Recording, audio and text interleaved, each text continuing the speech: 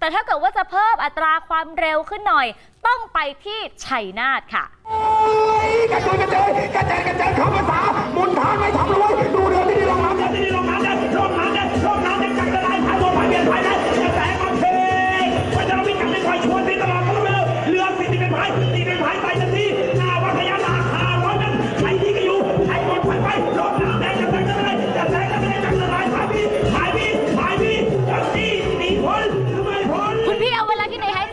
ไหนมีเหงือกหรือเปล่าอยากรู้จริงๆหายใจอย่างไรจะขาดใจตายไม่เอายังไงดีคะ